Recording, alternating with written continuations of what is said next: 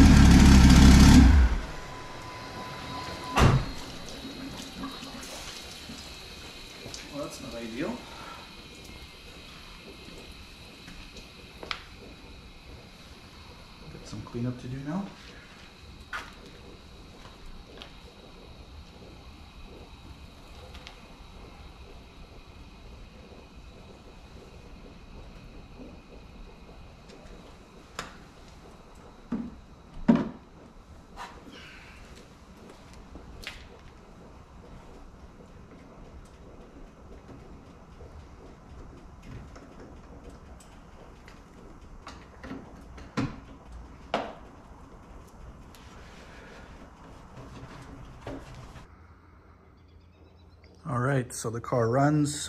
Um, I've ran the engine to temperature a couple times now. Um, seems to be uh, getting up to temperature fine, just gets up to 190 and then uh, the fans kick on. Um, got a couple little oil leaks on the, uh, the turbo supply lines, so um, I've got to fix that and then I'm got to get the car off the lift so I can get all this wiring inside. Um, waiting for my bumpers um, to be painted. Um, hopefully they'll be done tomorrow. I think I'll be able to pick them up, uh, put the bumpers on. Uh, I put the, uh, started putting the exhaust on too, uh, so that um, I can finish that up, um, put the rear bumper back on, and then I can get the car off the lift. And um, then I can do the wiring inside because it's impossible to do anything inside with the uh, with the way um, the doors open up. It's hard to get in. So that's where we're at. Um, next video, I will uh, I'll have the, the body panels on and uh, finish up the wiring. And um, it's going for tuning on May 1st. So um, hopefully you'll be able to uh, do a proper break-in of the engine on the dyno. Um, I might drive it a little bit to get the clutch broken in. I don't think you're supposed to put it straight on the dyno with a brand new clutch. Um, and uh, I've also got to swap the brakes out. I've got some two-piece GiroDiscs that I've got to put on. I'm waiting on my uh, brake pads to show up. Um, I had to order those off, uh, off Rock Auto. Nobody else had them for whatever reason. Who thought Viper brake pads would be hard to get? Uh, so those are coming. So once those come in, I'll uh, swap the rotors out, put new pads on, uh, clean up the calipers, and uh, then I can start putting this thing back together so we can go on the road. So anyways, thanks for watching. I know it's been a bit of a lengthy video, um, but um, bit of a process getting this whole thing back together, getting everything working again. So if you guys have any questions or anything, let me know. But uh, like and subscribe and obviously more videos coming on this thing. So continuing on with the build here, I'm gonna go ahead and uh, start replacing all the brakes. I finally got all the parts in, got the rotors, got the uh, new brake pads. Um, so I've just finished cleaning up the calipers that came off the parts car. These are pretty much like a new shape. I just washed them and they look great. Um, the ones on this car, they're kind of beat up a little bit. They're, they probably, they'll clean up pretty well too after they're washed. Um, but I figured it's easier to just wash the spare set that I have. So I'm gonna go ahead and uh, take this apart. Um, pretty easy process. This caliper is just held on with the two bolts there and then two bolts hold the, uh, the e-brake caliper on. Kind of hard to see. There's one on top, one on the bottom. Um, so we'll get those off, get the new rotors on, get the new brake pads in, and um, that'll be that. All right, so I've got the first side apart here. One thing I noticed, this e-brake caliper, the, uh, the inside pad is worn right down to nothing. I don't know how that happens. I don't know if the thing's not adjusted properly or what or if somebody was just driving this car with the e-brake on for a long time.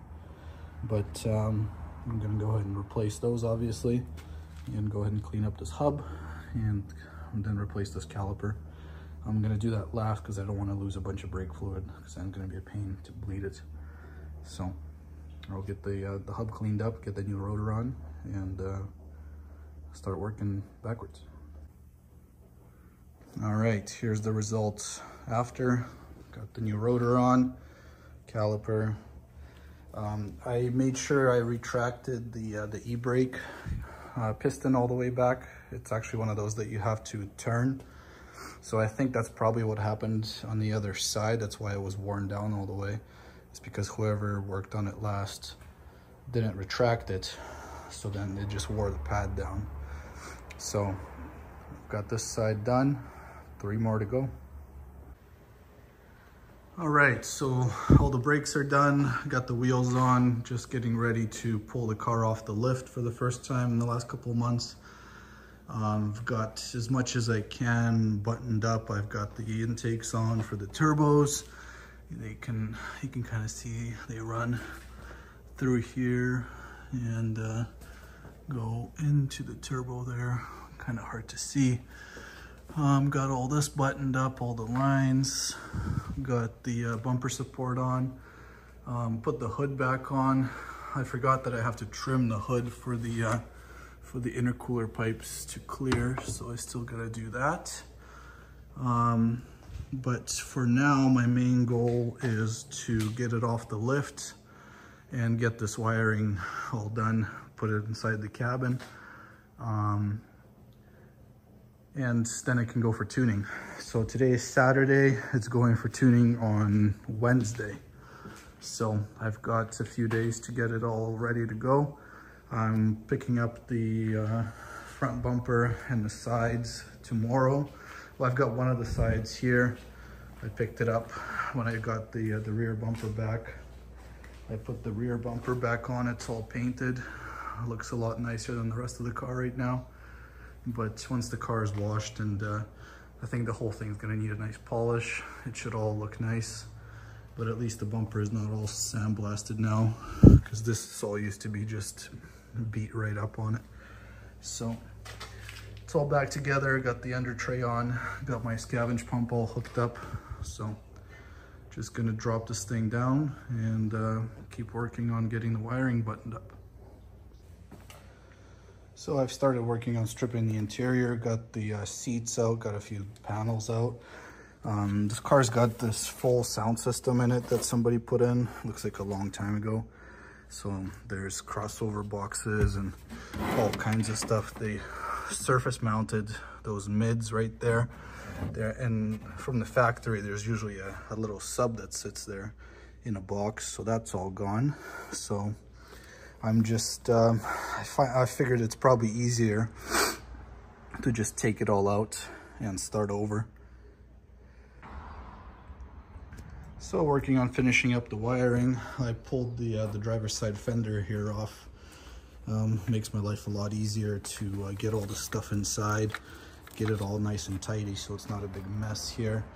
Um, got the inside pretty much um, ready to go back together. I was able to get the center console uh, in, got the new deck in, got the two gauges in the vents there. Um, got my gauge stack that has the uh, boost uh, gauge in it. Got that in.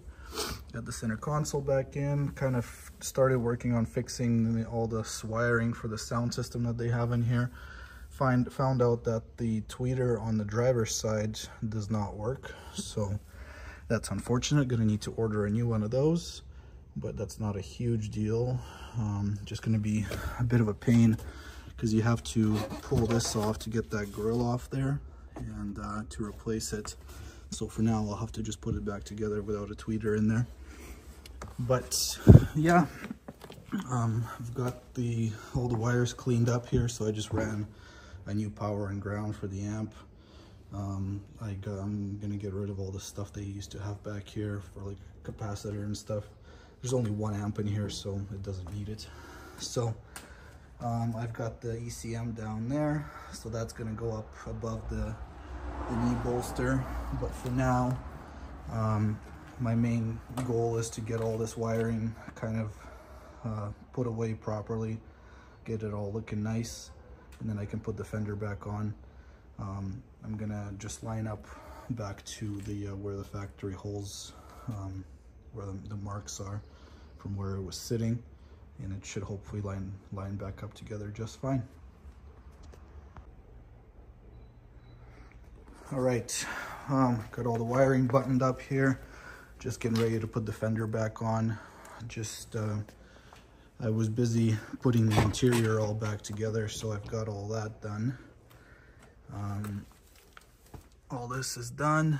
I've got my button wired in here. This is gonna be used for my line lock and also for the uh, rolling anti-lag. Um, everything else here is done. So it's obviously gonna all need to be cleaned and stuff. It's all really dirty still, but uh, getting there. I just want to start the car before I put the fender back on, make sure I don't have any wiring issues. Uh, but the battery's pretty much dead. So I'm gonna put my charger on it and uh, fire it up. And then once it starts and runs and all the gauges work, um, then I can put the fender back on. And then I'll probably put it back on the lift and then um, put the bumper on, put the side skirts on, and um, then it's pretty much ready to go for tuning. So, getting there. All right, so it's all back together now. Um, took me a bit to get the bumper on, got the hood on, um, pulled the, uh, the vents out of the hood. Um, still working a little bit on the hood alignment, but it's not too bad.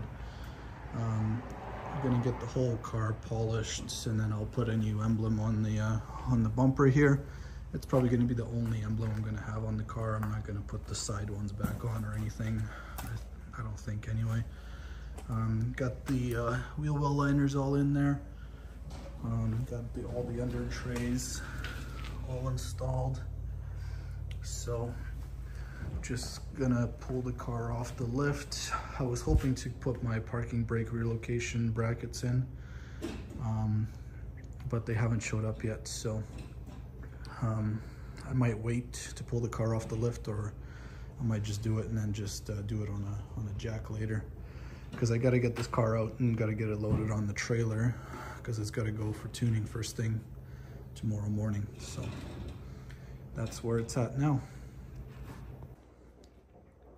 So I'm installing the uh, RSI uh, parking brake relocation kit um, and the instructions, um, they're fairly clear, the ones that come from RSI, but I just want to figure to make a quick video for anybody who's doing this. So this is the way they want you to reroute the parking brake cable. Um, it has to go above the, uh, the rear end. Um, hoping you guys can see here. But in their instructions, they don't have the rear end in the car, so it's not really clear exactly where they want you to put the parking brakes cables. Um, so I've got them running there. I haven't secured them yet, but yeah, in their instructions, they want you to put a little uh, clamp on that uh, piece of frame right there. And then it goes over the rear end and then it comes out um, through here and then kind of goes like that. So they also want you to use that uh, bracket right there. Um, and then they give you a little self tapper to put, put it in the frame there. And then also, so once I get the brackets on, I'll show you how it goes into the bracket. Now the easiest way to get this bracket off I found is to actually um, undo the parking brake caliper. You just take uh, the top bolt off and you loosen the bottom one. And then that way it gives you space to get a socket up top for the uh, Allen bolts. Uh, the small bolt's a number five Allen and the big bolt is a number eight Allen. So now I've got the, uh, the factory bracket off. I'm about to put the RSI one on. Okay, so I've got the bracket on. Use their supplied bolts that they give you. They're kind of an oddball size. Um, the small bolt is a four, um, but the big one, it's a 730 seconds, which I didn't even have a socket in. I had to use a, a little Allen wrench. But anyway, I got the bracket on there, so now I can route the parking brake cable. All right, so I've got both brackets installed. Got the uh, parking brake reconnected again. Uh, reattached the, the, little caliper back to where it's supposed to go. So, and I've uh, hooked up both cables again. So now I'm just going to um, used the uh, self tappers to screw in the uh, the brackets into the frame there, and then you got to reroute this um, ABS cable. They want you to follow the uh, the parking brake cable, so you got to go up and over the uh, the sway bar. So I'll do that next. Okay, so the cables all ran, all secured. Um, I moved the uh, ABS cable here too. My car's got an extra cable because I got a, another wheel speed sensor back here for traction control. Um, no wonder in their instructions they have the rear end out because trying to secure this, uh, that little rubber uh, coated clamp onto the frame right there, it's damn near impossible with the rear end in the car. But uh, I used a long extension and I was able to uh, I was able to get it uh, just barely. Hopefully I can show you guys here. Yeah, so I got that screw in there um, and then uh, put another one right there and then rerouted the ABS cable on this side also and uh, all was done. So hopefully it all works like it's supposed to. I don't see why it wouldn't. So now it'll fit uh, 18s on the back, no problem. So hopefully this was uh, helpful to you guys. If you have any questions, let me know.